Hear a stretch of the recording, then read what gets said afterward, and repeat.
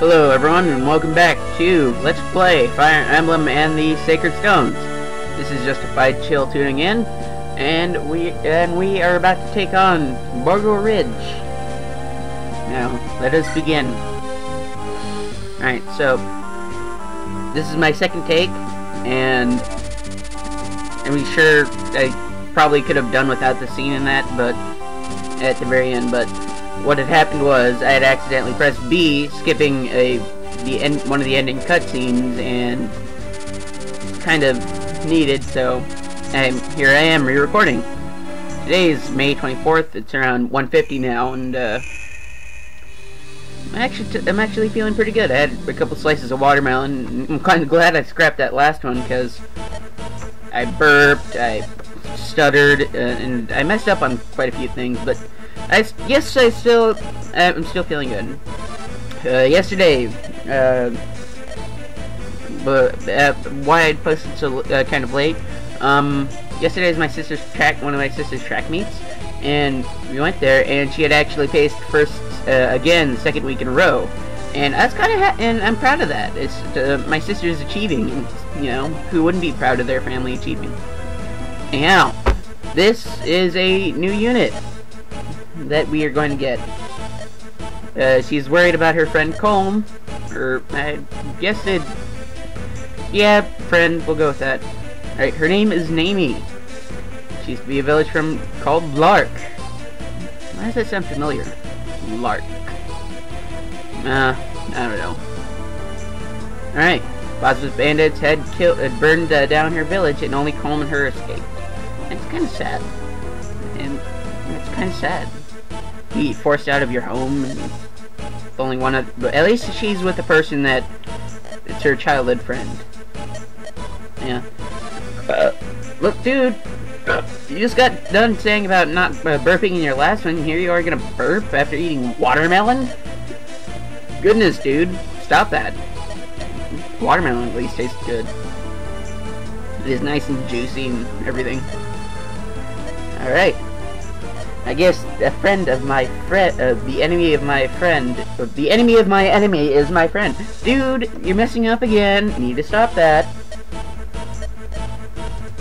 Defending our countrymen, our friends, our neighbors. We must help. Alright. And she leads us into the den of Bazba's bandits. Right, the mechanic that hasn't is being used practically in every Fire Emblem out there is range. Uh, right, there's Mighty Bazba with his mighty nose and his mighty nose hair.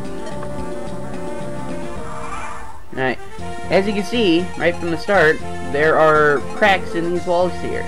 These walls can be broken down and made into new uh, spaces. First, you must strike at them with your weapons before you're able to cross them, but regardless. You're not going to want to use Neimi just yet. You're going to want to have her go up here, and you'll see why in just a second.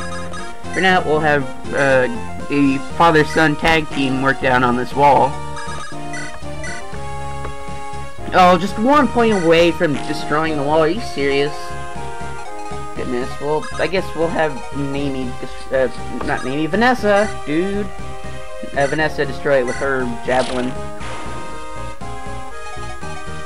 Alright. Have Eirika take the lead. Kill it! Kill it with fire! It's a sword, whatever! Goodness. We'll have friends back her up. And I'm not gonna destroy that wall, it's right next to Moulder. But for now, uh, I guess we'll end it.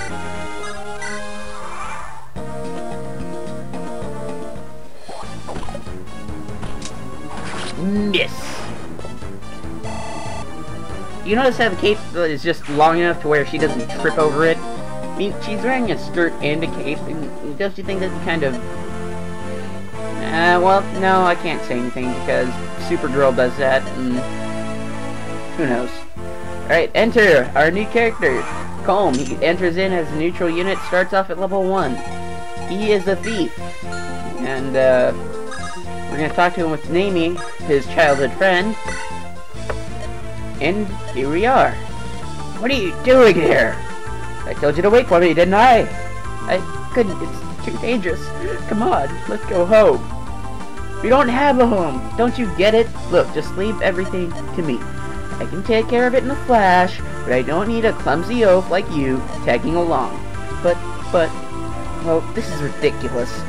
We'll talk later. Don't be my side, Mimi. Goodness. Well, I, at least he cares for her. Alright, Colm is a thief. Uh, in order for thieves to open up doors and lock and uh, chests, you, they have to have lockpicks. No lockpick, no chests, no doors. You didn't, uh, no more. Alright. I have Eirika open this door and... Kill it! Kill with fire!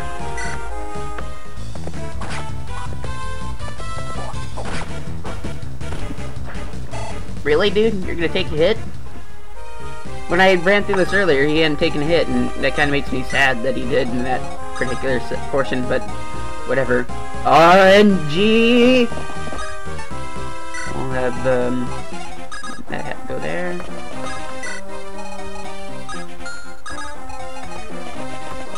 Let's hope he lasts another round.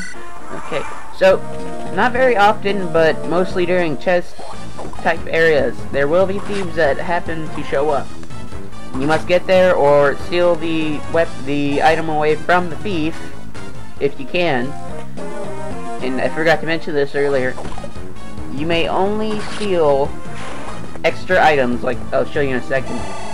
And the speed of the thief must be higher by at least a half, or a two, or is it half? In their inventory, uh, you must have in, uh, you must have inventory space for it. So, uh, Okay, let's look at Colm again. Alright, so, you will not be able to steal weapons. At least, not, I recall in this one. You, he, uh, other thieves will be able to steal lockpicks, You can steal lockpicks from your character, uh, from your thief, and other items that they have. But, thankfully, as long as you kill the thief before that happens, then you have no problem. Now that you've seen uh, Colm run in, we'll show... Oh, dang it, I'll show that in a second. We'll have Neimi come in and finish off this bandit. That's some childhood friend teamwork. So nice to see uh, friends helping other friends kill other people. Brings a tear to my eye. Alright, support conversations. These do matter, especially for certain characters, because they will give major stat boosts. Um, they also affect towards the end of the game. Um, what stats they boost also really depends on what their affinity is. I'll show you their affinity in a minute.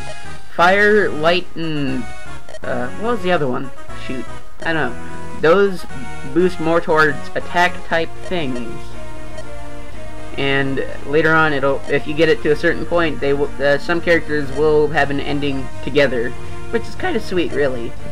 I'm not going to spoil who they are, but and I'm not I'm probably not going to do those on screen because those ones take forever to do. Like, uh, okay, so as you're seeing here, this is a conversation that happens at level C. There are three different types of uh, support conversations, C, B, and A. C being the lowest, A being the highest. Each character can only have five support conversations under their belt at any one uh, given time. And, um, at that, and if they once they reach five, that'll be the maximum amount of, uh, that'll be the maximum amount of conversations that they'll have. If you open the chest and get a javelin from it, another useful trick that I've uh, that's been around, you trade with, and uh, if something's gonna happen and your character's not ready for it, say he's wielding an axe, and then there's a lance coming, a unit coming towards you. You can switch the weapons uh, whatever weapon's at top, or the first weapon in line, will be the weapon that they're equipped with. So once you did that, I mean, sure, it's kind of pointless in this round because, um, you know, we're gonna have to wait a whole nother turn before he can use it. But it's still a nice tactic to do. You trade and move the weapon to the top, and you can also re-equip them too at the same time. For now, we'll end the turn. Let's see what our enemies do. Nothing. Moulder take this out. Not Moulder, Terp. Garcia. I don't know how they're getting, uh, how the both of them are. But, or Seth take out our neighborhood thief. If it hits. And it hits, thank goodness. Because that even if there's 94, it doesn't mean it's going to hit 100%. The only way that you're not going to miss is by hitting 100%. I've had things miss at 99%. That it is not good. No.